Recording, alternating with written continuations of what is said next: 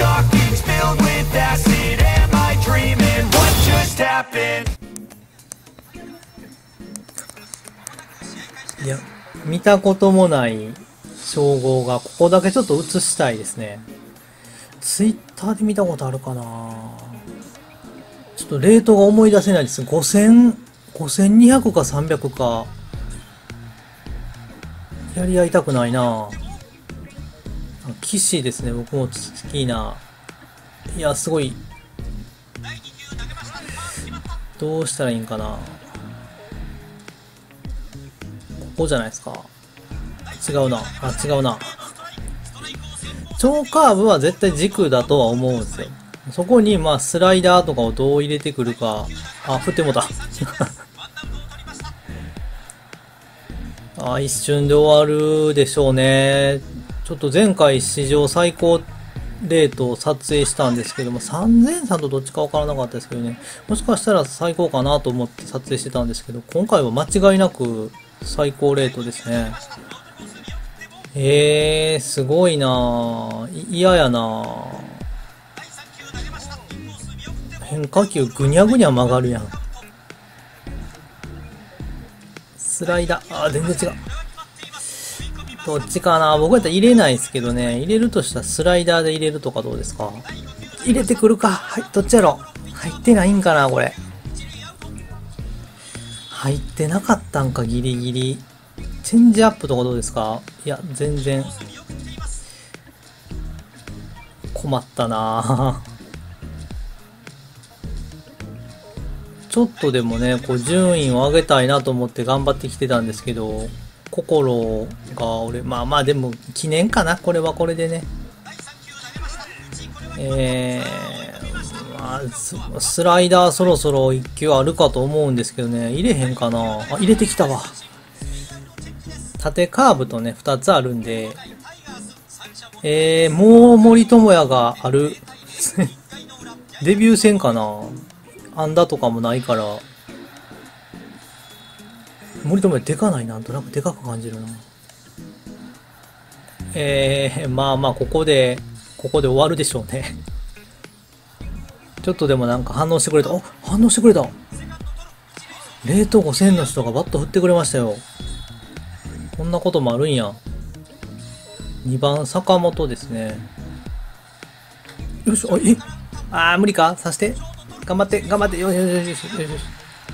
取れたぞ、アウト。王さん。巨人が王さん、すごいな。やめてやめてやめてやめて。おい、いい、いい、いい。一旦くれた、一旦。さあ、どうしようかな。チェンジアップ狙いってどうですか？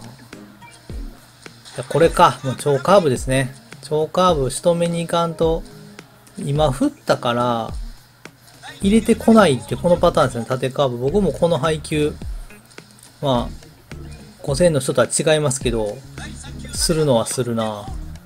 で、途中外から入るスライダーやるんですけど、これはあんましない方がいいって聞いたから、やりはれへんのかな。うわ、えこんな速いんや、超カーブって。はいや。124キロには思えないですね。そうか、あんまり対戦したことなかったけど、こういう感じなんや。超カーブ。分かってても打てない。そろそろでも、そうですよね。スタミナを気にすると、ストライク先行にはなってくるんかなああ、もう全然。もう超カーブを何が何でも攻略するしかないですね。どうしようかな。いや、待ってるとこは合ってんねんけど、振る間がないんですけど。そんなことある？バット振る間ないって、あるかな？全然、いつですか？バット振るタイミング。ここ？こんなもんなん？遅いとかは出てないもんね。こんなことある？いや、めっちゃ速いな。すごいな、超カーブ。僕が素材にした騎士。よし。いや、ヒットになって1本でもいいから記念に。記念に。さあ、どうしようかな。シンプルにシュートとか、どうやろう。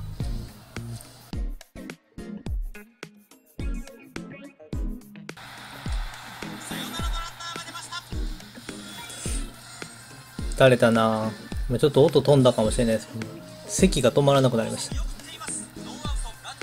えー、っと、そうね。まあ、もうそうね。サークルチェンジぐらいしかないっすよ、もう投げる球。これを振ってくれたらいいなって、ただ願うばかり。あ、やばお、お、いや、うん今のは、あ、終わった終わった。ありがとうございました。いやー、楽しくなかったなまあでも長くやってきましたけど、レート5000っていう方初めて見ました。5300とかやったんかなお、負けてこんなくれんの？えー、すごい。僕、これで、そ、全然上がる、順位。負けて9位になった。どんな相手やねん。もう全然どんどん対戦してほしいですね。この、この1週間ずっと当たってほしい。負けてもこんなにもらえるなら、レート5000の方と。いやー、すごかった。ど、なんでしょう。真剣に対戦しないといけないけども、なんかこう、あ、すげえっていうのが勝ってしまって何もできなかったですね。えー、すごい。ちょっとまあ、隠すとして、えー、どこやったかな。戦績見れるかな？レート。レートって見られへんのかな？レート5273。すごいな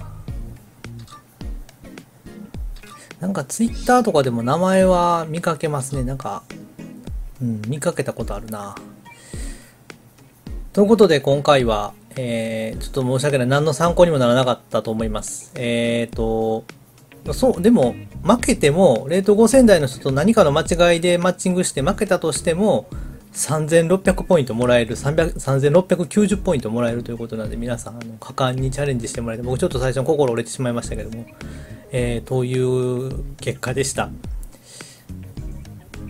いやー、まあ本当はもうちょっと、そうですね、今回のベストショットが、阪神がピッチャーであれば追いたかったところはあるんですけど、どうしたものかなと、一応ね、あの、雑談で申し訳ないですけど、対策として今回の、たまたま、あの、1パック出た時に、石山が出たので、覚醒はさせてないですけど、これ知らなかったんですけど、覚醒させなくていいんですね、別に。ソウル値だけを考えたら。えー、2500まで持ってこれて、で、オーダースキルが、まあ、回のものですけど、一瞬の、えー、きらめきかな、これ。えー、チームソウルが1000アップっていうのもらえるんで、それでまあ、はめて対戦ちょっとでもね、ソウル値優位にと思ってつけてるんですけど、うん。まあ、相手によって何の意味もないってことが分かりましたね。あ、そう、あとこれさっき教えていただいたんですけど、この人の使い道がやっと分かりました。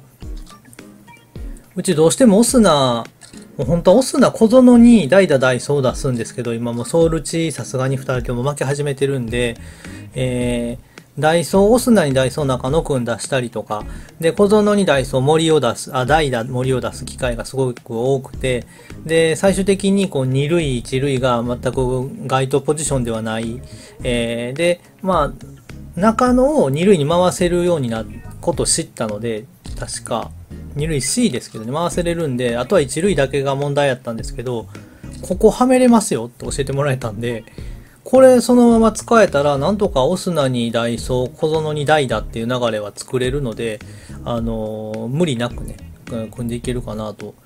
この伊藤のところが、まあちょっと誰か、横浜の選手がいないんで、誰かはめれてたらありがたいなというところです。ということで今回はもう皆さん忘れたかと思いますが、対戦動画でした。えー、一瞬でしたけどね。うん。まあでも記念にはなるし。ご視聴ありがとうございました。ぜひぜひ、あの、何か、何か感じ取って参考にしてください。えーではでは、えー、ポイントなかったですけども、ぜひとも、あの、高評価、それからチャンネル登録の方もよろしくお願いします。では、ご視聴ありがとうございました。アトリエ造形の王様ではたくさんのジャンルの動画を日々投稿しています。ゲーム実況、工房のグッズや作品紹介、配信者さんとのコラボ実況、ガンプラリペイント動画、技能検定、技能五輪解説、レトロゲーム実況、イラスト動画、ラジオ動画、ガチャ動画、古典の様子など人気作家になりたくて必死にあがいています。どれか一つでも興味を持っていただけたらぜひチャンネル登録よろしくお願いします。きっと興味のないジャンルの動画もたくさん上がります。それぞれ再生リストから見やすくしているので、登録後は通知を切っていただいて忘れるギリギリ寸前ぐらいにまた見ていただけたら嬉しいです。それぞれが見たい時に見たいもの。